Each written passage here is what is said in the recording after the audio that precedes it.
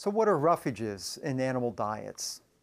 Well, first of all, roughages are defined as crude fiber greater than 18%, but the crude protein can vary anywhere from 5 to 25%. These are important in herbivore diets.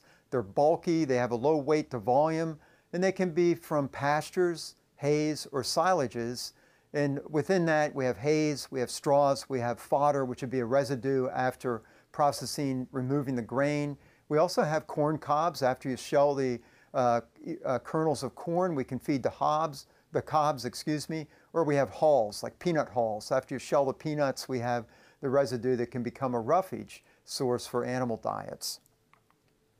So the types, uh, NRC classifies these as uh, fresh roughages like pasture or green chop. Green chop would be material that we cut every day and then feed it to the animals. We offer it to them uh, within the barn or wilted forage where we, will cut it and let it set for about 12 hours to let some of the water come out of it and then feed that to the animals.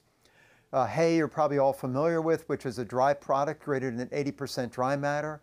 And hays can be either from a legume or a grass. And then silages, usually these are roughages that are stored wet, anywhere from 30 to 50% dry matter. They're fermented for storage so they can be preserved for a long time. And silages can be made from grasses, they can be made from legumes, they also can be made from grain forage mixes, things like corn silage or uh, wheat silage or oat silage or barley, barley silage. And then we have straw and fodder. After we pick the grain and use that for human use, the plant residue like straw or the fodder that remains can become an animal feed. And so again, we have the whole plant and uh, we can cut that into silage in an early stage of maturity. At full maturity, we'll pick the ears and, and shell the grain, uh, and then uh, we can have that as shell corn, or we can grind up the whole ear of corn and have that as ear corn. And the residue then can become an animal feed. Corn fodder, which is the residue after combining to get the ears, or corn stover, which would include the leaves and stalk, the leaf, the husk, in the, in the entire material after getting the shell corn. And so we have both the whole plant can be fed or we can feed the residue after picking the grain. Just looking here on this slide, what is the difference? And so we really have two types of corn. We have corn that you'll see in the field that's grown for grain, primarily have large ears relative to the stalk, or we have corn that is grown for silage. Probably 90% of the corn grown in the United States is grown for grain.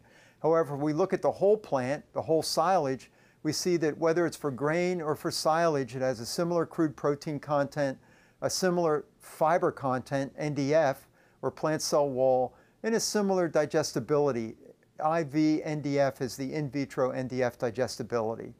When we look at the grain, what proportion of those uh, plants are grain Grain, grain corn has a little bit higher proportion of the plant as grain, 43.7%, versus silage, which is about 41%. But again, similar content of uh, crude protein, fiber, and digestibility. And then as we get into the husk, the shank, the, the stalk of the plant, the, uh, the, um, the stalk, the leaves, the cob, you can see they have very similar uh, nutrient contents. So the main difference between a corn plant that's grown for grain versus silage is the relative proportion of the ear to the rest of the stalk. The nutrient content is very similar. The critical component of, forest, of forage is when we harvest it. When the animal grazes, we have the energy cost of the animal grazing that forage, and we have some dry matter loss because they're not that efficient at consuming all the dry matter in a field. But we like to turn animals in to harvest pasture when it has an optimal nutrient content. And oftentimes that'll be in grasses when it's about 10 inches to 15 inches in height. As it gets higher than 15 inches, actually the nutrient content is getting lower because it's getting more mature. Similarly, when we harvest forages, we can do it when they're wet or when they're wilted or when they're dry. But we see on this slide that if we harvest it when it's very wet, we have high losses uh, from uh, storage, it's too wet, we get a lot of seepage. As we let the material dry, we get less losses from uh, storage losses, seepage, but we get more field losses. As material gets dry to make hay, we may what, get what is called leaf shatter. that the leaves get dry when you go to make it into hay, you end up with some of those leaves getting broken and lost in the field. And so what we'd like to do is actually harvest it somewhere there in the middle where we have minimal storage losses, minimal field losses, and that would be for making silage. So the roughage nutritional quality varies. First of all, we have types, grass versus legumes. Secondly, maturity at harvest. One of the great tensions farmers have is that as they let grasses get more mature or legumes, yield increases, but nutrient quality decreases. And so there's an optimal yield digestibility at which they should harvest that plant. And what makes the nutrient content decrease is lignin increases as the plant matures. That gives the plant rigidity so it can stand up, but it also lowers the digestibility. And so if we look here at comparison of grasses versus legumes versus corn silage, the important point is that legumes are high in protein, 19.8%, grasses are about 10.2%, corn silage is about 7.7. The NDF content, the fiber, legumes are about 40%, grass is about 58%, notice higher fiber in grass, and corn silage is about 42%. Starch content is low in legume, uh, legumes 2.9%, it's low in grasses 2.1%, and it's high in corn silage because it contains the ears of corn, 31.5%. Notice that legumes have high calcium, 1.48%, versus calcium in grasses of 0.61%, and calcium in corn silage of 0.24%. So the main difference in a legume versus a grass, high protein content in legumes, high calcium content in legumes, lower protein content in grass, higher fiber content in grass, and lower calcium.